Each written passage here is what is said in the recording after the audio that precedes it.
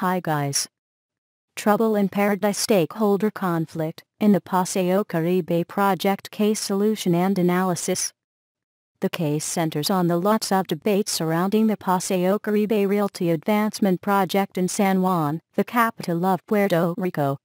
The project designers needed to compete with big presentations, civil disobedience, federal government intervention, legal procedures, and expensive holdups, as an outcome of claims that there had actually been numerous abnormalities in the permit granting procedures which the project had actually been developed on public domain lands. Thanks for watching this video.